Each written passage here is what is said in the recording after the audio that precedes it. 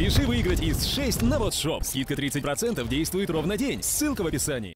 Всем привет, ребятки, с вами Джов, и это новые ответы разработчиков. Самая интересная и свежая информация по World of Tanks. Итак, поехали. У Шторма спросили, Михаил, а что там с T110E4? У него БК критуется по-страшному. Шторм ответил, почему с ним должно было что-то произойти, если он вообще не менялся? Также у Шторма спросили, хотелось бы узнать крайние границы по поводу выхода патча 9.15. Он выйдет до 9 мая или после?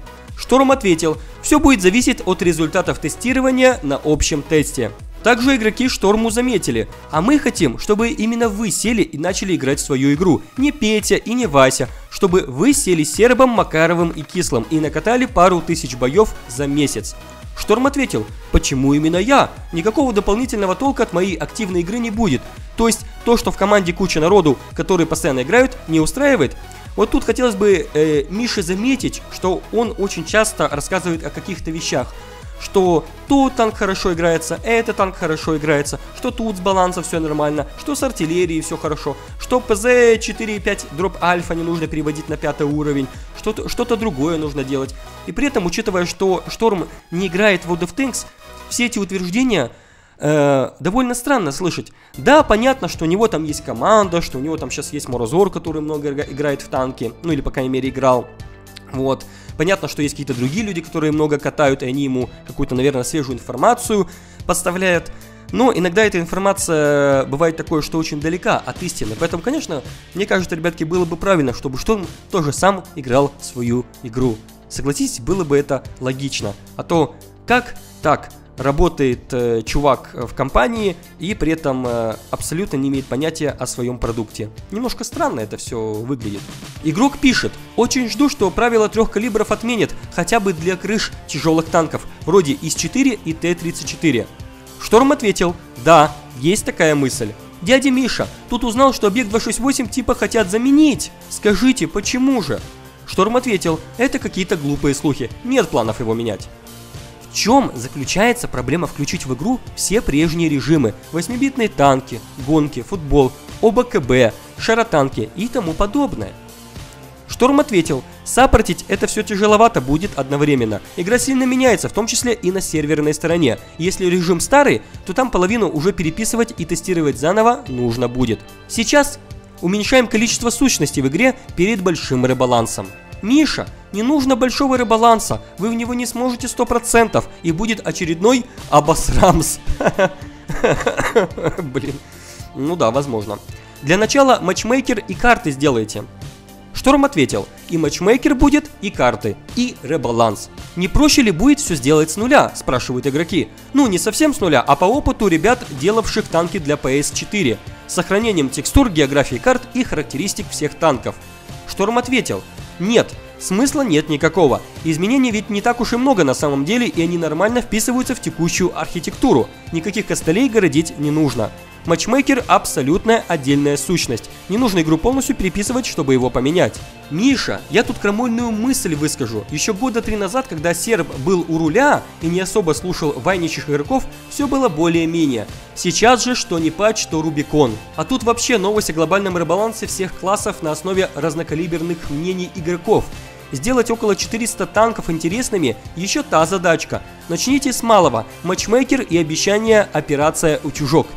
Шторм ответил, будет и то, и другое, и без хлеба. Очень постараемся все сделать хорошо.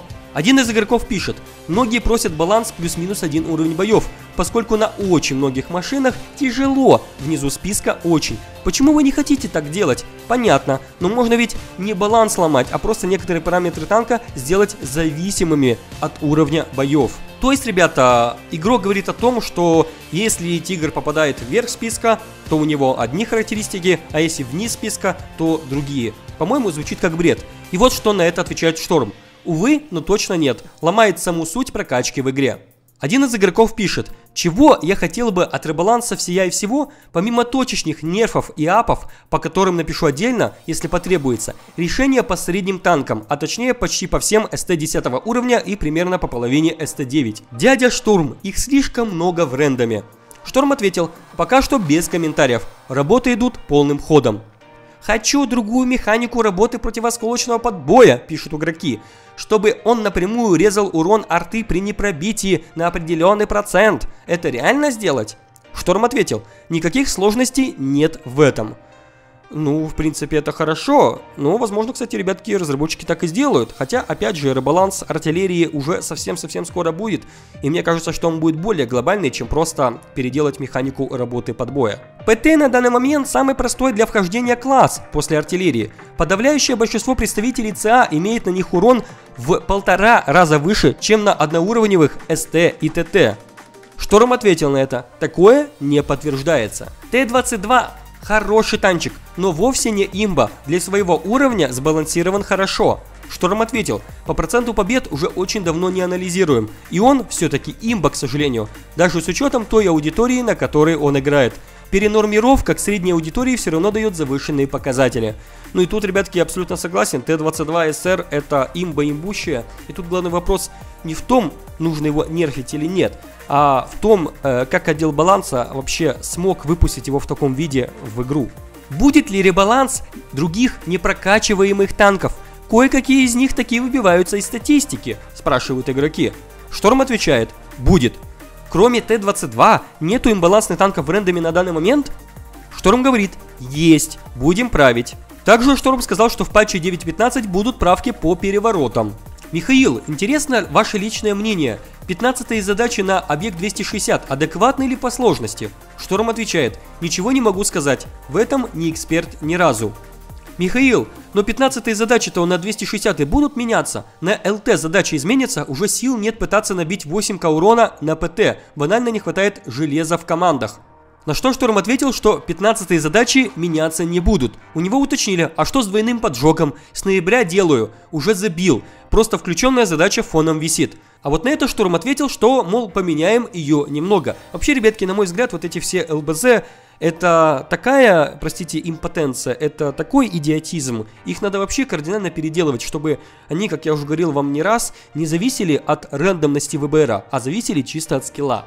Также разработчики сообщили, что характеристики немецкого орудия 88 мм L56 изменят, но сроки пока не озвучивают. Что конкретно изменится, они сказали, что повысится бронепробитие. Сейчас, ребятки, напоминаю, что вот эта пушка 88 мм L56 с пробитием 135 одна из самых убогих на своем уровне. Ну и я надеюсь, что разработчики хотя бы плюс 10 единиц пробития добавят, и это будет хорошо. Сейчас самые приоритетные изменения в игре, по словам разрабов, балансировщик боев, артиллерия, проблемы баланса танков и некоторых геймплейных механик, а также технические долги, производительность, реальная многопоточность рендера, растительность и тому подобное.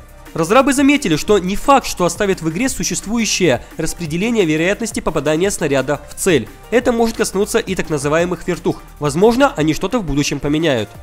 Сложности, которые возникли при разработке возможности ввода больших карт, это то, что не решена проблема с медленной техникой. Нет возможности сделать за ограниченное время достаточное количество больших карт, для того, чтобы они повлияли на игру. Есть проблемы также и с производительностью на слабых конфигурациях. Разработчики сказали, что не будут в компании Wargaming создавать отдел, который будет заниматься запрещенными модификациями в игре, проверяя их и выдавая игроку сертификат с цифровой подписью. Михаил Живец сказал следующее. Захакают первый же день после релиза этой штуки. Хотя, походу, придется в эту борьбу брони и снаряда влезать таки, чтобы хоть в какой-то мере эффект влияния подобных модификаций уменьшить. Разработчики сказали, что в режиме бой до последнего принимает участие меньше игроков, чем на ГК и в укрепрайонах. Увы, не могли оставить хорошую доходность в этом режиме. Ошибка была в том, что выкатывали режим с повышенной доходностью на тестах. Бортовые экраны в коллижен модели танков, например, таких как Е50, Е75 и Тигр-2, добавят для тех, кто уже в HD качестве, а тех, кто в обычном качестве, получит при переводе в HD. На этом, дорогие зрители, у нас все интересные ответы разработчиков на сегодня. Жмите лайк, подписывайтесь на канал и будьте в курсе свежих новостей. А на этом я с вами прощаюсь. Пока-пока. Goodbye, motherfucker!